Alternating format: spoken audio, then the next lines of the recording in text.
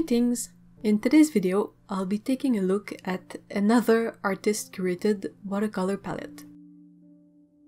I've talked about the Schmincke and Hazel Soan palette, and the special Schmincke palette that Wet Paint had for sale earlier this year. I love these types of palette because I feel there's a lot to learn from observing and working with someone else's favorite colors. This one is the collaboration between Sennelier and Billy Showell, the renowned botanical artist. She picked 12 Sennelier colors that she felt were the most useful colors to have when creating botanical paintings. The paints are the tube versions and they come in a metal tin made especially for tubes. The cover and inner lid can both be used for mixing and preparing the paint, but the tray for the tubes is part of the main compartment. It cannot be removed. I already had a plastic palette with the paints in it, but I went and added a lot more paint. I prefer to work from larger blobs of paint. I'm not a botanical artist at all, I don't have the patience for it or the level of focus and precision required. Botanical illustration is a serious thing, as the subject painted has to be scientifically accurate. I don't have the experience to say if that's a palette setup that would be efficient for botanical illustration, but it's gonna work for the painting I'll do with these paints. This palette comes with no green and no earth tones at all. It has three yellows, one orange, four reds, one purple, and three blues. It's definitely one of the most unusual selection I've seen so far. The colors included are cobalt blue, French ultramarine, phthalocyanine blue, lemon yellow, Sennelier yellow deep, quinacridone gold, Sennelier red, red orange, Helios Purple, Alizarin Crimson Lake, Rose Madder Lake, and Dioxazine Purple. As I'm pretty unfamiliar with such a palette, I made a mixing chart with these paints. These 12 colors make for an amazing array of bright colors, which is great for painting the vivid hues of plants and flowers. It's always easier to start from bright mixes and mute them by introducing a complementary color than the other way around.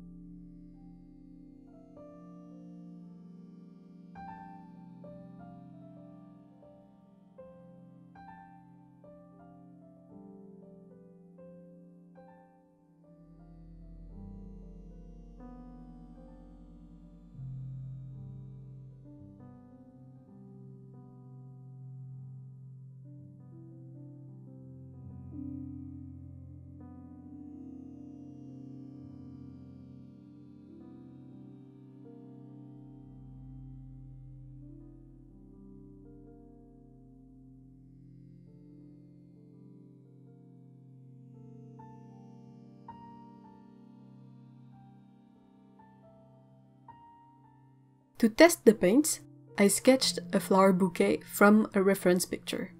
I proceeded to lay down a first pass of the colors to establish where each of the flowers was located. When that was dry, I did another pass to add more depth and richness to the colors. I did a third and final pass over the dry painting to add a bit more to the final sketch.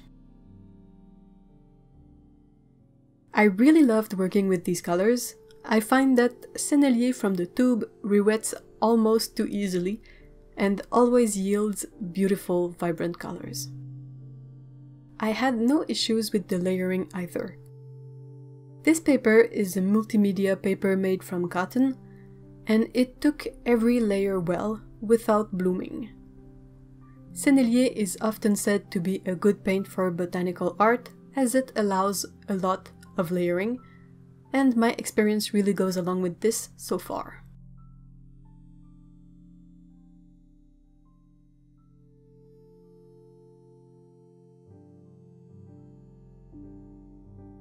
After painting this first demo, I started wondering about the color selection and realized that it might be confusing. Are these colors only good for painting flowers and brightly colored subjects? Is this a super specific palette that would require having another different palette for other subjects? I know that any primary triad will let you paint everything and that this set is basically a lot of triads in the same set, but I wanted to experiment and see it for myself. I searched for a very grey and earthy reference photo and found this one of a derelict barn in the winter. I proceeded to sketch it and to paint it out to see how I'd fare using these super bright colors to paint something faded and neutral. Turns out, it was fairly easy. I could see from my mixing chart that the cobalt and the orange mix into something fairly close to grey. I used this as the basis for all the grey. As for all the neutral and earthy colors, I just followed the basic color theory mixing rules and was able to mix browns and beiges and darker greys. I had no issues with layering here too, or laying down the wetter sky color.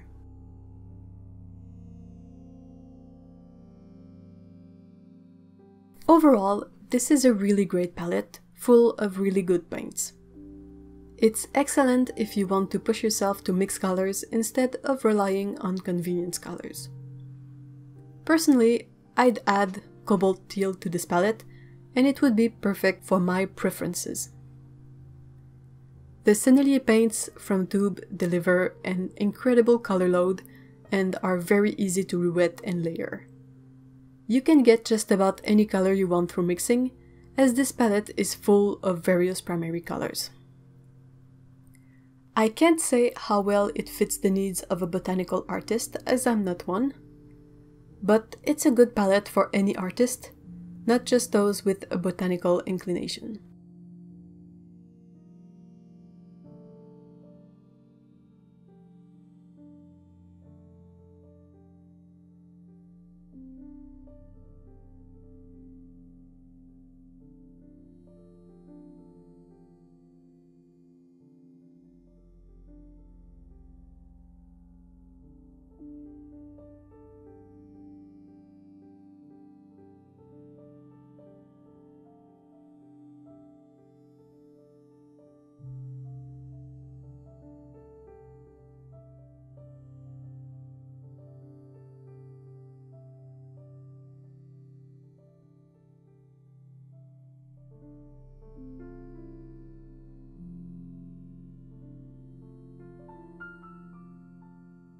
Also of note, I have one of Billy Showell's books, and in it she presents a color palette from the Winsor & Newton professional range. Many colors are similar between both sets, but they are not quite the same. Also, the palette in the book has 15 colors, while the Sennelier set has 12. I just wanted to include this to show that her color choices are fairly consistent, regardless of brand.